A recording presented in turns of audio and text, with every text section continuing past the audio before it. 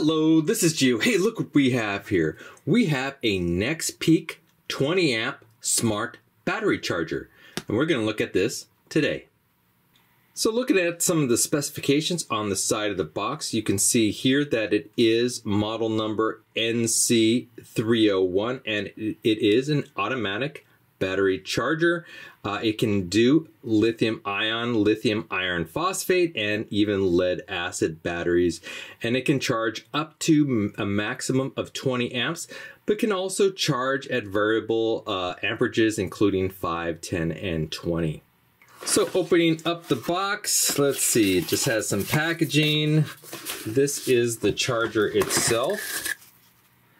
And then I guess, let's see, here's some wiring yeah, here's the wires, and here is a little booklet pamphlet, which looks fairly substantial. It's probably in multiple languages. We'll take a look at that. And what do we have here? Some little terminals. And this is the charger itself. It does look like it has a little bit of plastic on the screen here. Take that off. Put that aside. And this is a very nicely sized charger. It's lightweight, uh, not overburdensome. Let's see, it does come with a little power cable here, and this is the uh, battery cables uh, that connect into it. And so we're gonna take a look at this and charge up some batteries today.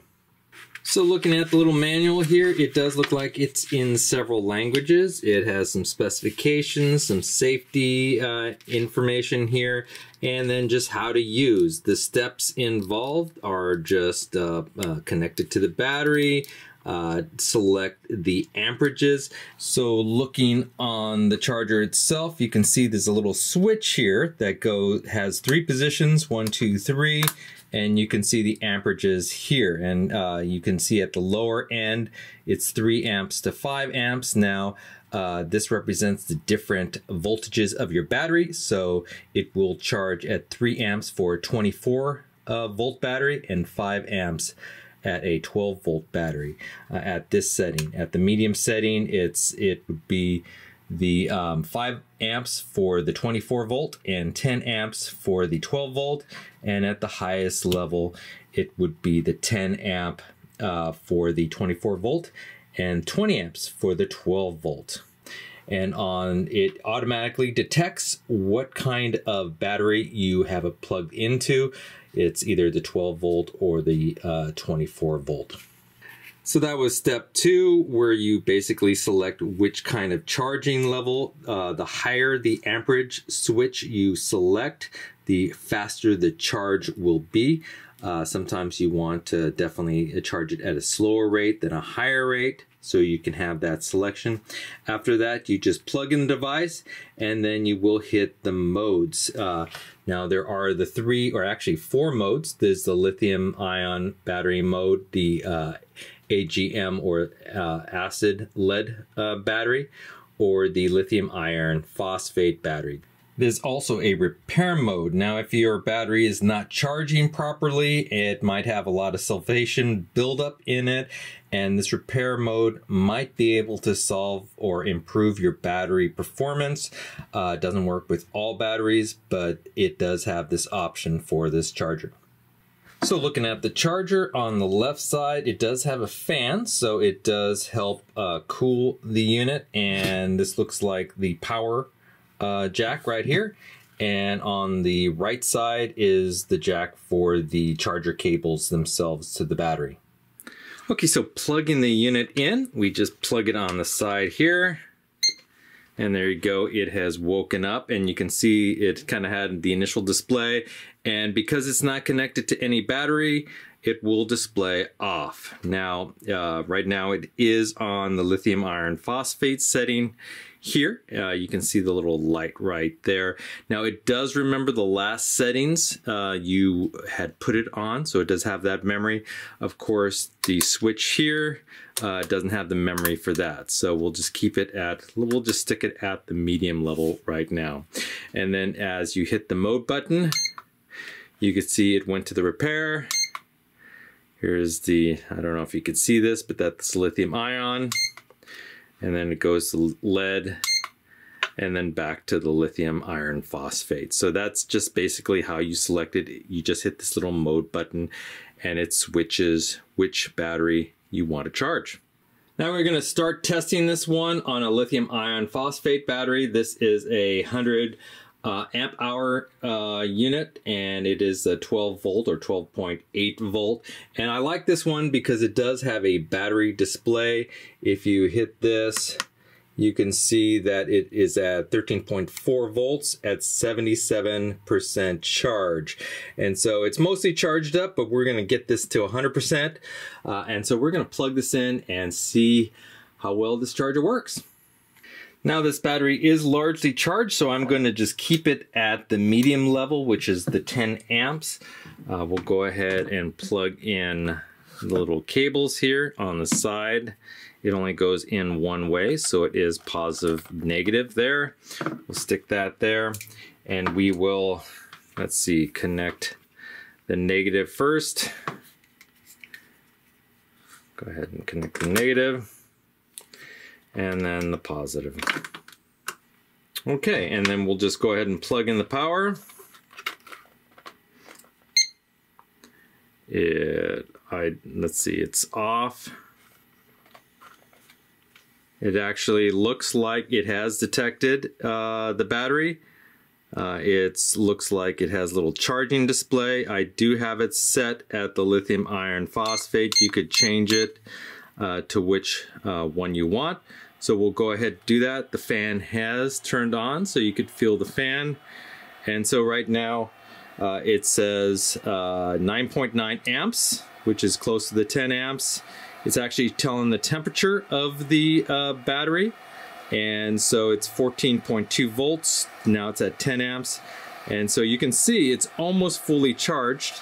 Uh, the battery itself said 77%. This is flashing right above 80%. Let's see if I can show you that.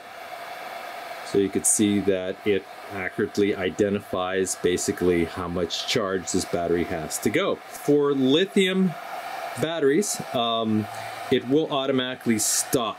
Now for lead acid batteries, uh, it will reach a certain voltage and then do a trickle charge. So it won't 100% uh, stop uh, for lead acid battery, but, but will provide a trickle charge after the full charge has been reached.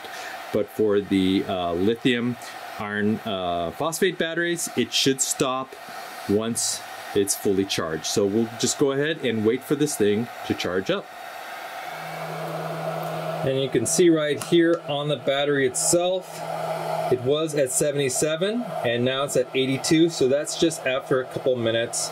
Uh, so it's already starting to increase the charge. I do want to note that uh, the charger is a little bit loud, the fan. So uh, you may want to stick this in someplace you don't mind the noise. Uh, it is a pretty loud fan, so that's perhaps a negative on this charger, but just something for you to note. I did want to show you that it does have the 12 volt uh, little indicator light here. So I assume if this was a 24 volt battery, it would change. So it does identify the battery uh, based on voltage automatically. So you don't have to do those selections.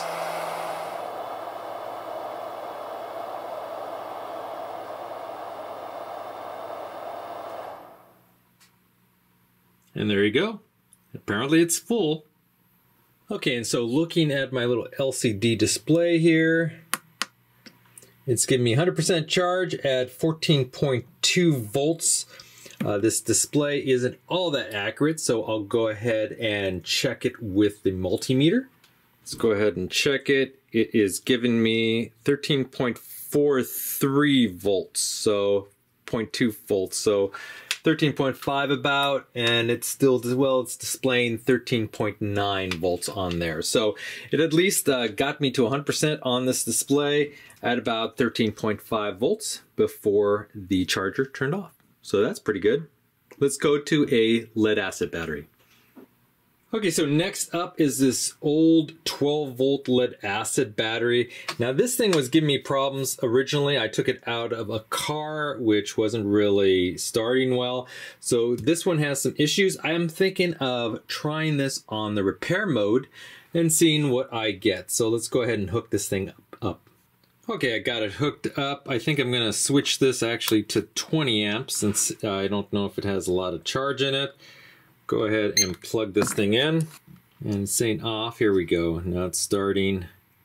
Actually, I have to change the modes. There we go. Okay, so it's doing a pulsing process for the repair. Uh, the little manual says it might take about four hours to complete this process. So we'll come back and uh, see what the results are at the end. Okay, so it's been in repair mode for well over four hours, probably closer to five hours, and it's still giving me the PLU indicator, and it's showing, uh, looks like repair. I think the PLU means um, pulse, but uh, I, I think it's probably as repaired as it uh, can get. I'm not sure if this is supposed to turn off once it reaches a certain level, but we'll go ahead and switch it to uh, the lead charge uh, setting. So just move it two over and see what happens there. And there it's saying it is full, so it must be fully charged. We'll go ahead and test the voltage with the multimeter and see what we get. So trying to do this with one hand, touch the probes and see what the reading is. It is showing me 13.5 13.5 so that is I guess what it's calling fully charged and so yes indeed the um, the battery charge repaired and charged this battery. So I don't know if this battery is fully repaired. Let's say if I stick it in a car and utilize it to start a car, whether it will consistently start the car for a long period of time. I don't know, but uh, the repair process on the charger seemed to at least get it to uh, 13.5 volts, which I guess is a good thing. And there you go. That is the NexPeak 20 amp battery charger model NC301. Well, I hope you enjoyed this video, and if you did, please hit that like button at the bottom of the screen, and even consider subscribing to my channel. I have many more videos to come. Bye-bye.